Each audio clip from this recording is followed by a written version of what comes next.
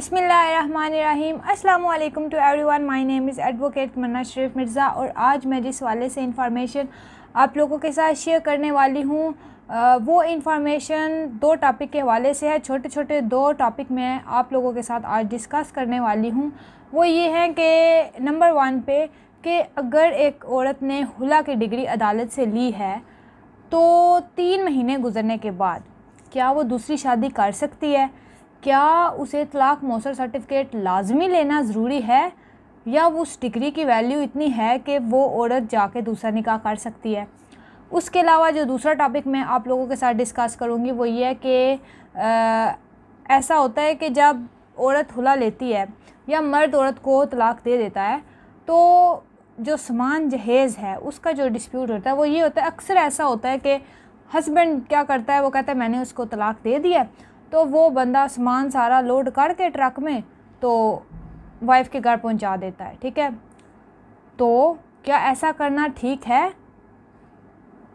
या फिर वो औरत जो है वो दोबारा केस फ़ाइल कर सकती है सामान जेज लेने के लिए? तो ये दो जो मेन टॉपिक हैं वो मैं आज आप लोगों के साथ डिस्कस करने वाली हूँ। तो सबसे पहले हम बात करते हैं कि अगर एक औरत ने हुला की डिग्री ली है, ठीक हो गया तो पहली बात यह कि तलाक मौसर सर्टिफिकेट वो लाजमी तौर पर ले। देखें, तलाक मौसर हो जाएगी, तलाक मौसर सर्टिफिकेट उसे मिल जाएगा। और अगर हस्बैंड फिर उसकी जो हुला की डिग्री है उसको कैंसिल करवाने की कोशिश भी करेगा तो कोई फ़ायदा नहीं है। हाँ अब अगर कोई वजह हो गई है, औरत ने तलाक मौसर सर्टिफिकेट के लिए अप्लाई नहीं जल्दी किया, अभी तीन महीने गुजर गए हैं वो चाह रही है कि दूसरी शादी कर लूँ। तलाक मौसर सर्टिफिकेट चले मैं बाद में ले लूँगी। तो अभी वो चाह रही है कि मेरी शादी हो जाए, मैं दूसरा निकाह कर लूँ। तो उस डिग्री की, जो हुला की डिग्री उसने अदालत से ली है, उस हुला की डिग्री की वैल्यू है, वो औरत दूसरी शादी कर सकती है। जब औरत की दूसरी शादी होगी तो वो जहाँ पे कॉलम होता है ना कि औरत कवारी है या शादीशुदा है, वहाँ पे फिर लिखेंगे, बाकायदा तौर पर कि ये औरत जो है, इसने पहले हुला लिया है। तो अभी ये अदालती जो डिग्री है, ये साथ में अटैच की जा रही है, ठीक है? तो वहाँ पे थोड़ा सा लिखते हैं और औरत जो है वो फिर दूसरा निकाह कर लेती है। तो वो दूसरा निकाह कर सकती है और उसका निकाह रजिस्टर भी हो जाएगा। तो बाद में कोशिश करें कि तलाक मौसर सर्टिफिकेट ले लें, क्योंकि उसकी बहुत ज़्यादा वैल्यू है और बाद में डिस्प्यूट राइज होने से बेहतर है कि आप तलाक मौसर सर्टिफिकेट ले लें। उसमें होता ही है कि बस आपने अदालत की डिग्री लेनी होती है, उसके साथ एक एप्लीकेशन लिखते हैं कि हमारी तलाक को मौसर किया जाए, मैंने हुला ले लिया है। तो वो फिर तीन महीने बाद आपको तलाक मौसर सर्टिफिकेट दे देते हैं और तलाक मौसर हो जाती है ऑन द रिकॉर्ड भी आ जाती है ये बात। तो कोशिश करें कि तलाक मौसर सर्टिफिकेट आप ले लें। तो इसका मतलब ये है कि औरत दूसरा निकाह कर सकती है, उस अदालती डिग्री की वैल्यू है, ठीक है? तो जहाँ चाहे तीन महीने बाद, तीन महीने का पीरियड जो है वो इद्दत का है, ठीक है? उस दौरान कोशिश करें, तलाक मौत सर्टिफिकेट भी ले लें और इद्दत भी पूरी हो जाएगी, फिर औरत दूसरी शादी जहाँ मर्ज़ी चाहे वो कर सकती है। अब दूसरे पॉइंट कहते हैं। दूसरा पॉइंट ये था कि अब वाइफ ने हुला ले लिया या हस्बैंड ने उसको तलाक दे दिया, ठीक है? अक्सर ऐसा होता है ना कि हस्बैंड तलाक देता है औरली देता है, या औरली जब उसको देता है तो वो चली जाती है घर, फिर रिटर्न फॉर्म में ठीक है उसको लिख के भेजता है।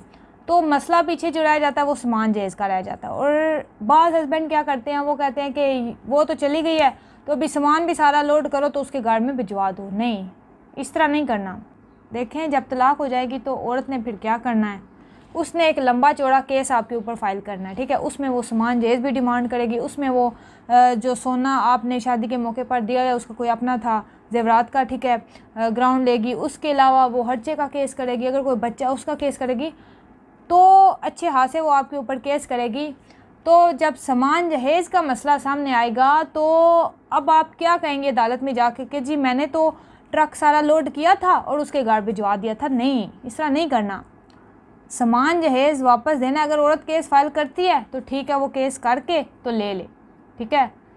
इस तरह आप खुद से कोई आपने ऑन द रिकॉर्ड बात नहीं लाई है सामने, कोई बंदा नहीं उसमें आपने इन्वॉल्व किया तो कल को आपके लिए मसला हो जाएगा। वो चार या पाँच या दस लाख का सामान जहेज़ डिमांड कर ले कि मेरा वापस दो तो आप लोग कहाँ से वापस देंगे सामान जहेज़ अगर सामान जहेज़ वापस नहीं देंगे तो फिर आपको अल्टरनेटिव में प्राइस देनी पड़ेगी। दस लाख का सामान अगर वो आपसे डिमांड कर रही है कि मुझे वापस दे मेरा सामान इनके घर में है मेरी तलाक हो गई है तो अभी मैं वापस आ गई हूँ तो ये मेरा सामान जेज़ नहीं दे रहे तो फिर आप लोग कहाँ से देंगे? इसलिए इस तरह सामान जेज़ आपने औरत को नहीं देना। तो उम्मीद करती हूँ कि इन दो पॉइंट्स को आप अच्छी तरह से समझ चुके होंगे।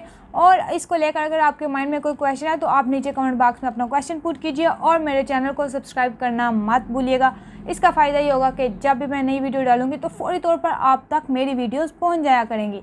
थैंक यू वेरी मच असलकुम